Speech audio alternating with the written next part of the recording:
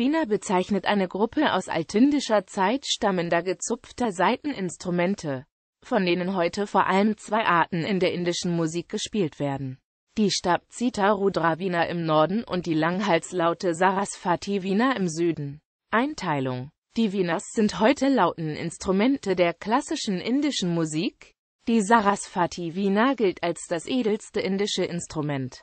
Sie hat Bünde und wird von allen Veenas am häufigsten gespielt. Ihr Name rührt von der hinduistischen Göttin Sarasvati her. Sie ist die Göttin der Gelehrsamkeit, der Musik und allgemein der Künste. Dargestellt wird sie mit ihrem Attribut einer Veena. Zu den in Südindien gespielten weiteren Veena-Arten gehören die buntlose Gottuvatyam Veena, die auch Chitra Veena genannt wird und im Norden die noch seltener als die Rudra Veena gespielte, buntlose Vichitra Veena. Die Mohana Veena hat mit einer Veena nichts zu tun. Es ist eine von Vishwa Mohan Bhatt umgebaute und mit Resonanzsaiten ausgestattete akustische Gitarre, deren Klang an eine Sitar erinnert. Eine Veena hat mit Ausnahme der Gottuvathyam im Unterschied zur Sitar keine Resonanzsaiten. Die Sitar hat als Bünde Metallbügel, die mit Abstand über dem Griffbrett liegen, um im Zwischenraum Platz für die Resonanzsaiten zu bieten. Veenas sind entweder buntlos oder haben direkt aufgeklebte Bünde. Die Bünde der Sitar sind verschiebbar, die der Veenas sind fest. Veenas haben einen volleren und länger anhaltenden Ton als die etwas klirrende Sitar. Ihr Spiel ist dafür erheblich schwieriger zu erlernen. Ein gelungener Versuch, den langen Ton der Wiener auf einer Art Sitar zu erzielen, führte vermutlich um 1825 zur Entwicklung der Surbaha, einer tiefer gestimmten und größeren Sitar. Dagegen ist die im 19. Jahrhundert entwickelte Kombination aus dem etwas rau klingenden Rubab und der Rudra Wiener, die zur zarten Laute Suasinda mit Metallsaiten führte, um 1950 verschwunden, Herkunft. Die ersten Saiteninstrumente waren Musikbögen und Stabzittern. Wiener war der allgemeine Begriff für Saiteninstrumente in den auf Sanskrit verfassten altindischen Veden. Er taucht bereits in der Mitte des ersten Jahrtausends vor Christus auf. Noch früher im Rigveda und Atharvaveda erwähnte Namen wie Gagara und Kakari könnten sich ebenfalls auf Saiteninstrumente bezogen haben. Möglicherweise bezeichnete Pekoravina die einfachste Form eines Musikbogens, dessen Saite mit dem Mund verstärkt wird, während Kandavina vielleicht eine mehrseitige, aus mehreren parallelen Bambusröhren zusammengesetzte Floßzither war. In den Brahmanas werden mehrfach Bogenhöfen beschrieben. An einer Stelle im Jaiminya Brahmana besitzt die Wiener sieben Seiten, einen mit Tierhaut bespannten Korpus mit einem Hals und einem Tragegurt. Der Beschreibung nach ist eine Bogenharfe gemeint. In der alttamilischen Literatur bedeutet YAZH allgemein Musik und zugleich Harfe. Es gab für namentlich unterschiedene Tonskalen jeweils eine entsprechende Harfe, mit der sie gespielt wurden. Wienas bildeten den wesentlichen Bestandteil der altindischen Ritualmusik Gandhava deren theoretische Grundlagen als Gandhava Veda zusammengefasst werden. Im Hauptwerk dieser in weiterentwickelter Form bis heute gültigen Musiktheorie, dem um die Zeitenwende entstandenen Natya Shastra von Bharata Muni, werden Saiteninstrumente genauer behandelt. Bharata unterscheidet vier Arten von Veenas, die aus Holz hergestellt sind. Die neunseitige Bogenharfe wie Pensivina wurde mit einem Plektrum und die siebenseitige Citra mit den Fingern gezupft. Nur eine untergeordnete Bedeutung, vielleicht als Bordun-Instrumente, scheinen die Kachapi und die Gosaka besessen zu haben. Die ältesten Darstellungen von Saiteninstrumenten zeigen ebenfalls Bogenhöfen, die zunächst im buddhistischen Umfeld vom 2. Jahrhundert vor Christus bis zum 7. Jahrhundert n. CHR in Steinreliefs an indischen Kultstätten auftauchen. Hafenspieler innerhalb von Orchestern fanden sich in Reliefs, die frühbuddhistische Tanzszenen darstellen auf den Steinzäunen der Stupas von Bahut, Sanchi und Amaravati. In der Biografie Aishwakoshes über Buddha, Buddha Karita, aus dem Anfang des 2. Jahrhunderts wird neben einer Wiener genannten Bogenharfe mit sieben Saiten eine Bambusflöte Venue und eine von Frauen gespielte Trommel Pushkara erwähnt. Eine Goldmünze aus dem 4. Jahrhundert zeigt König Samudragupta beim Harfenspiel. Der berühmte himmlische Musiker Penkasika, einer der Gandhavas, wird stets mit einer Bogenharfe abgebildet.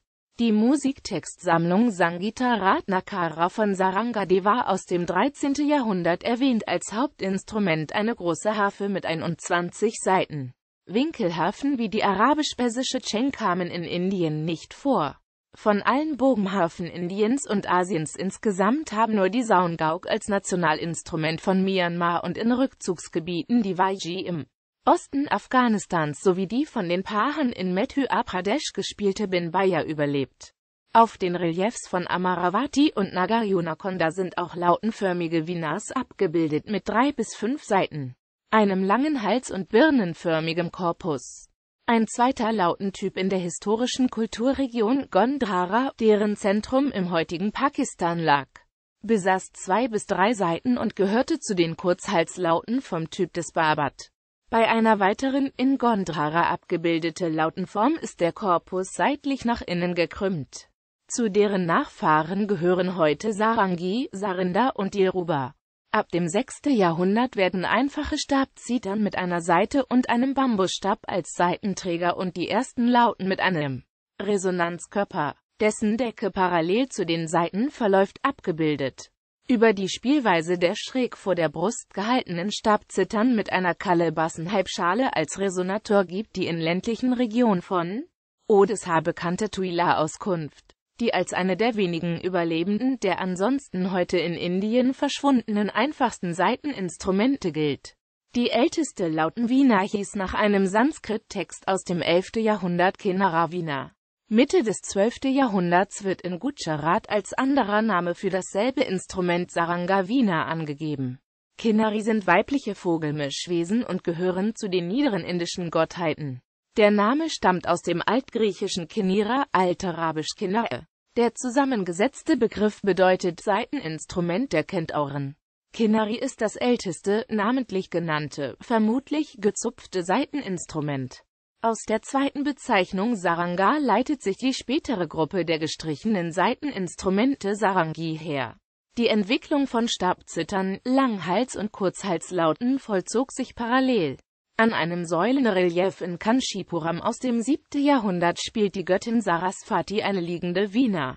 Ein Relief am Nataraya-Tempel von Chidambaram zeigt eine stehende Frau mit einer Langhalslaute. Im Sanjitaratnakara, einer Musiktheorie des Sangadeva aus dem 13. Jahrhundert, werden drei Arten von Stabzitern unterschieden die buntlose Ektantrivina, die Kinarivina mit Bünden und zwei Kalebassen und die Alapinivina mit einem Resonator auf einer Seite. Dieser Resonator bestand aus einer halben Kalebasse und wurde gegen den Brustkorb gedrückt, so dass die Öffnung ganz oder teilweise verschlossen wurde, um Klangunterschiede zu erzeugen. Durch leichtes Berühren der Seite mit einem Finger und gleichzeitiges Zupfen mit einem anderen Finger der rechten Hand konnten Flageoletttöne erzeugt werden. Punkt. Die frühesten Wieners hatten nur einen Resonanzkörper. Der Musikgelehrte Abu Faz beschrieb im 16. Jahrhundert eine Kinara mit drei kahle Bassen. In der Mogulzeit wurde die Bezeichnung Rudravina oder Bin für eine ganze Gruppe von Saiteninstrumenten üblich. Die Musiker wurden folglich Pinkas oder Binakaras genannt. Von den in dieser Zeit aus Persien eingeführten Instrumenten war die Langhalslaute Ta für die Entwicklung der indischen Saiteninstrumente von besonderer Bedeutung. Die Lage ihrer Bünde und die Stimmung wurden mit der Rudra Wiener verglichen. Gemäß dem arabischen Gelehrten Al-Farabi hatte die Ta einige Bünde. Im 13. Jahrhundert wurde ein System von 17 Tönen in pythagoreischer Stimmung für die Ta entwickelt, was die Stimmung der Rudra Wiener beeinflusste. Spätestens im 18. Jahrhundert hatten sich zwei unterschiedliche Stile in der klassischen nordindischen Musik und damit zwei Gruppen von Musikern herausgebildet. Einmal die strenge männliche Tradition des Dropet, das waren Sänger und Wiener Spieler, die von der Trommel Pach Abai begleitet wurden. Auf der anderen Seite stand der weibliche Kühl-Stil, der Mitte des 18. Jahrhunderts in die Hofmusik von Dili eingeführt wurde, bei dem die Sänger, meist Sängerinnen, von Sarangi und Tabla begleitet wurden. Die Wiener stand für die hoch angesehene Musikkultur, die Sarangi für Unterhaltungs- und Tanzmusik. Die beiden Gruppen hatten sich in ihrer sozialen Stellung bis um 1900 einander angenähert. Bauform und Spielweise Rudravina Die nordindische Rudravina oder Bin besteht traditionell aus einer Bambusröhre, die selbst als Resonanzkörper dient und an der zur Schallverstärkung zwei kugelförmige Kürbiskalebassen befestigt sind. Auf dem Rohr bilden 22 oder 24 unverschiebbar in einem dicken Wachsbett liegende Bünde das Griffbrett. Anstelle des Bambusrohres wird meist Teakholz verwendet, zwei ausgehöhlte Hälften werden zusammengeleimt. Die Wachsmischung wird durch Kunstharz ersetzt. Die heutige Form stammt aus dem 19. Jahrhundert. Der ehrende Beiname für das 1,40 bis 1,55 Meter lange Instrument ist Mahati Vina. Über erhöhte Stege an beiden Enden laufen sieben Metallsaiten über das Griffbrett. Vier davon sind Melodiesaiten, die D, A, G, Cis gestimmt sind. Eine äußere und gegenüber zwei außenliegende Saiten aus Stahl geben Borduntöne. Sie sind auf A und in den beiden Oktaven gestimmt. Bis auf die vier Wirbel an einem Ende des Rohres ist die Rudravina symmetrisch. Die Saiten werden mit drei Stahlplektren am Zeige-, Mittel- und Ringfinger der rechten Hand gezupft. Das Instrument ruht mit einem Resonanzkörper auf dem rechten Unterschenkel, der andere liegt über der linken Schulter. Die Rudravina wird praktisch nicht mehr gebaut und nur noch äußerst selten gespielt. Sie ist dem alten klassischen Dropet-Stil vorbehalten. Ihre tiefe Stimmung ist besonders für die langsame Entwicklung des Alap geeignet. Nur männliche Familienmitglieder der Garanas durften das Rudravina-Spiel erlernen. Ihr Spiel wird noch innerhalb der Dagar-Familie weitergegeben. Die Dagar-Gharana aus Delhi gilt als die älteste Dropet-Schule.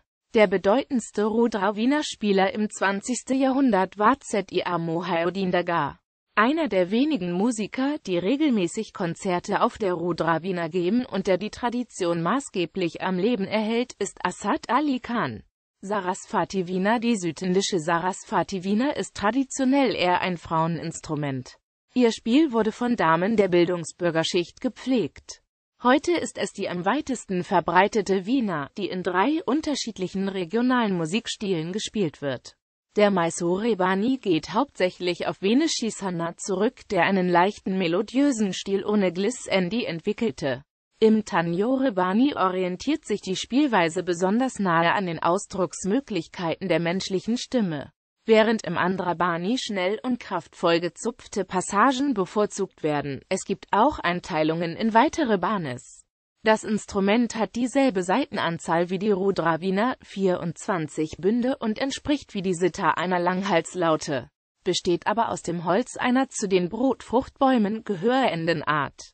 Korpus, Hals und Wirbelkasten werden bei den einfacheren Instrumenten separat ausgehöhlt und dann verleimt. Die Holzdecke wird ebenfalls aufgeleimt. Der bauchige Korpus hat eine nur leicht gewölbte Decke. Wenn das ganze Instrument aus einem Stück Holz gefertigt wurde, spricht man von einer Ekanda Wiener. Diese hat einen besseren Klang und ist teurer. Ein zweiter, kleiner Resonator aus Kürbis, Pappmache, Metall oder Kunststoff befindet sich unter dem Wirbelkasten. Die Kanten sind mit gravierten Streifen aus dem Horn des Samba-Hirsches oder aus hellem Kunststoff belegt. Diese Wiener liegt beim Spielen quer vor dem Musiker. Der Korpus ruht dabei auf dem Boden, der Hals wird durch die beiden Knie des Spielers waagrecht gehalten. Der Hals endet oberhalb des Wirbelkastens als Yalimuka mit dem Kopf eines Fabelwesens. Die gesamte Länge beträgt 130 bis. Das Plektrum sitzt auf dem Zeige- und Mittelfinger, teilweise wird mit langen Fingernägeln gespielt. Der rechte kleine Finger greift in die Bordunseiten. Der Spielbereich beträgt bei 24 Bünden im Halbtonabstand pro Seite zwei Oktaven. Mit den Bordunseiten kann bei der Sarasvati Wiener und der Rudra Wiener die rhythmische Struktur gleichzeitig mit den Tönen des Raga wiedergegeben werden. Die Möglichkeit, damit das Gesamtkonzept der indischen Musik darstellen zu können, macht die Wertschätzung dieser Instrumente aus. Während der Nayanka-Dynastien besaß die Sarasvati Wiener in Tanjavur die heutige Seitenzahl, aber nur sechs Bünde. Dies wird von Ramamatya in seinem Werk Svaramala Kalanidi beschrieben. Er unterscheidet nach der Größe und der Stimmung der ersten Seite drei Instrumente und von jeder Größe zwei Varianten. Die Savaragavina mit festen und die Ekaragavina mit beweglichen Bünden. Die Sarasvati Wiener soll Anfang des 17. Jahrhunderts vom Herrscher Raghunatha Nayanka und seinem Minister, dem verehrten Gelehrten Govinda Dixita, zur heutigen Form entwickelt worden sein. Im 18. Jahrhundert diente die Wiener als Ausgangspunkt, um das 72-stufige Melakarata-System zu entwickeln. mit dem die südindischen Ragas katalogisiert werden. In Südindien entwickelten sich an einzelnen Herrscherhäusern regionale Musiktraditionen. Am Hof von Tanjavur orientierte sich die Spielweise der Wiener eng an der vokalen Gestaltung der Liedtexte. Der hiesige Stil, mit dem die Wiener jedes Vibrato der Stimme mit besonderen Techniken der linken Hand nachzuahmen versuchte, erhielt daher den Namen Gayaki. Bis Anfang des 20. Jahrhunderts wurde das Instrument in senkrechter Position gespielt. Gottovatyam. Form und Spielhaltung sind bei der buntlosen Gottovatyam entsprechend. Diese südindische Wiener wurde Anfang des 20. Jahrhunderts entwickelt und hat insgesamt ein und 20 Seiten, davon sind sechs Melodieseiten, drei hochtönende Bordunseiten und zwölf darunter verlaufende Resonanzseiten. Die ersten beiden Melodieseiten sind im Oktavabstand gestimmt. Die Gottovatyam ist das einzige südindische Instrument mit Resonanzseiten. Eine große Resonanzkalebasse befindet sich unter dem Wirbelkasten, so dass zusammen mit dem lauten Korpus die Gottovatyam waagrecht am Boden liegen kann. Sie wird mit den drei Plektren der rechten Hand und einem Hartholzstab in den linken Hand, der über die Saiten gleitet, gespielt. Der bekannteste Gottovatyam-Spieler ist N. Ravikiran, Vichitravina. Die Vichitravina, auch Batabin, ist das nordindische Gegenstück zur Gottovatyam. Ebenfalls buntlos und mit einem breiten Hals verfügt sie über vier Melodieseiten, fünf Bordunseiten und 13 Resonanzseiten. Beide Enden sind mit Vogelköpfen verziert. Früher war sie ein Begleitinstrument für den Drupet-Gesang, wird aber kaum noch verwendet.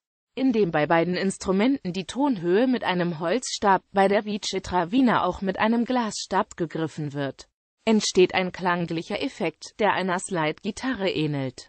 Die Vichitravina wurde im 19. Jahrhundert durch Abdul Aziz Khan eingeführt, einem Musiker am Fürstenhof von Indore aus der Patiala Gharana.